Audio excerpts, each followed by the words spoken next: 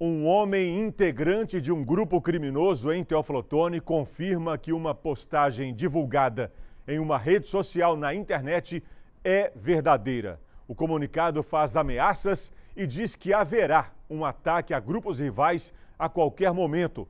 O comando das polícias civil e militar quer dar um basta nessa situação na cidade. Esse homem que não quer ser identificado confirma. O grupo do qual é integrante diz que vai revidar as agressões de dois meses em Teoflotone, no Morro do Eucalipto. Ele tenta tomar um gol, sobe estudo lá para tentar tomar um gol, vai tomar bala. Essa postagem em rede social circulou esta semana. Destaca que o grupo no Morro do Eucalipto vai reagir à violência dos rivais. Nesse trecho é citado que os integrantes atacados não querem matar inocentes mas quem der abrigo a rivais na comunidade vai ter a casa destruída, segundo a postagem. O Morro do Eucalipto fica no bairro Manuel Pimenta, na região central de Teoflotone. É considerado a base de um grupo ligado a uma facção de São Paulo. Em outros pontos da cidade ficam pessoas ligadas a outra facção do Rio de Janeiro. O homem diz que o grupo não vai aceitar a invasão da comunidade pelos rivais. Infelizmente, é tentando tomar o Eucalipto, não vai conseguir não.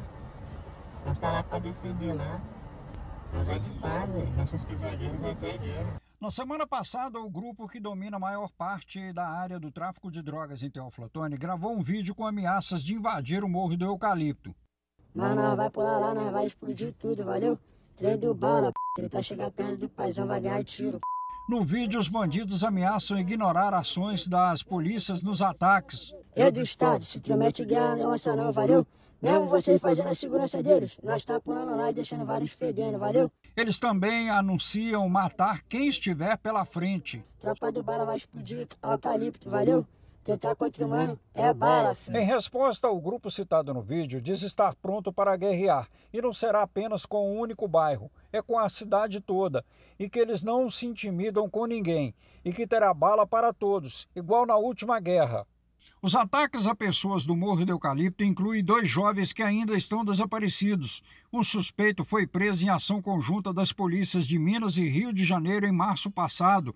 Segundo o morador, mais uma ação dos rivais. Os caras pegou na covardia, tronco.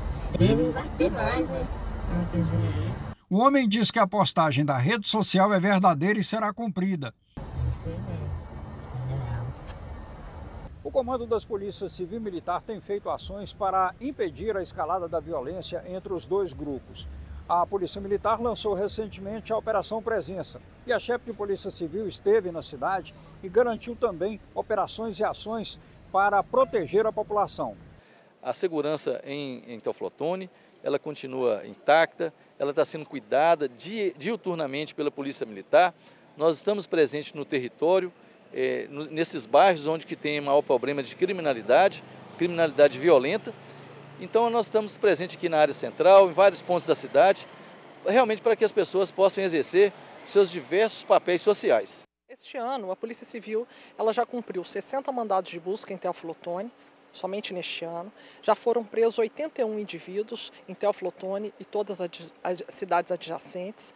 Então, com isso, nós estamos é, reforçando a segurança pública aqui na cidade e toda a região.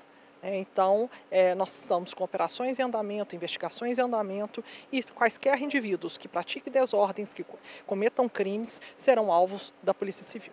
As forças de segurança estão trabalhando firmemente, as respostas já estão sendo dadas, os indivíduos estão sendo presos e a população ela pode ficar tranquila que as forças de segurança estão presentes aqui na cidade e em toda a região. Falou então a chefe de Polícia Civil do Estado de Minas Gerais, a delegada Letícia Camboge.